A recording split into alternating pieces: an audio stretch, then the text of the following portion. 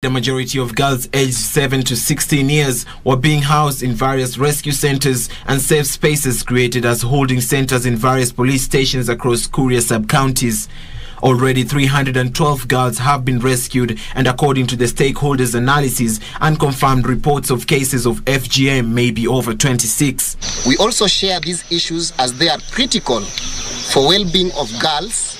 who are home for long holidays after the school break in December holiday and are at risk and the increasing FGM that is being conducted and several girls as at now in Kuria are being rescued and being kept safe and also the arrests that are undertaking place.